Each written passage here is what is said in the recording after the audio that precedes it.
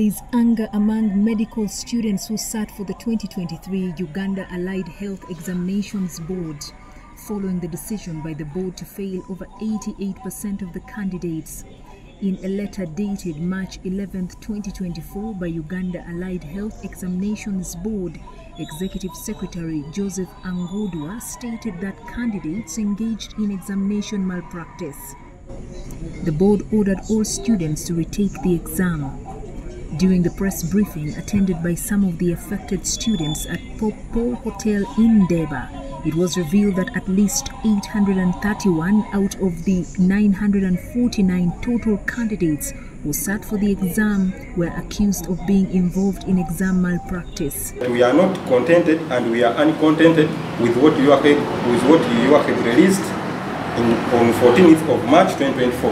Our results were released and, and it came to our notice that we had retakes in logbook, of which the retakes are due to malpractice.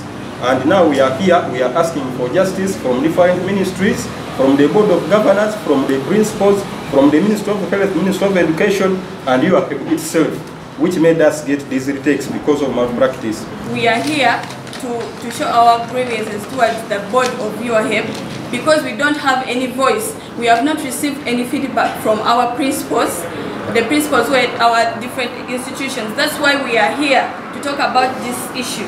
And we are not willing to serve as a sacrifice towards allegations of UAHEB being for producing incompetent clinical officers in field. Rose Nassali, the Uganda Allied Health Examinations Board chairperson, who we reached through a phone call, declined to comment on the matter.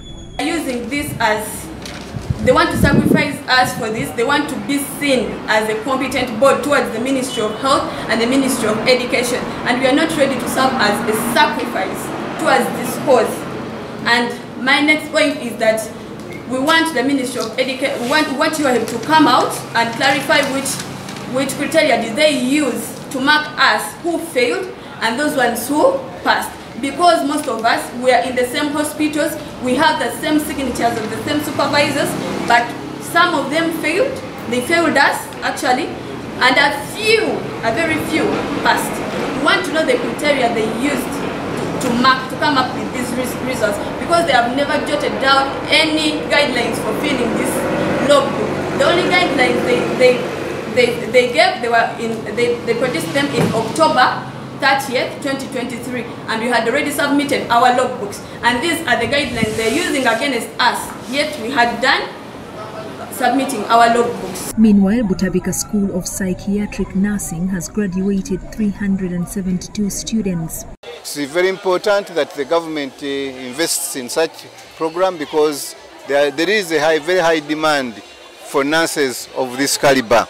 That's why my ministry, my government, will continue investing heavily in such institutions and I would also like to pray that the other, other stakeholders do play their part. According to the World Health Organization, mental health problems constitute 14% of the global burden of disease worldwide. In Uganda, available studies indicate a significant prevalence of unaddressed mental health issues across all age groups.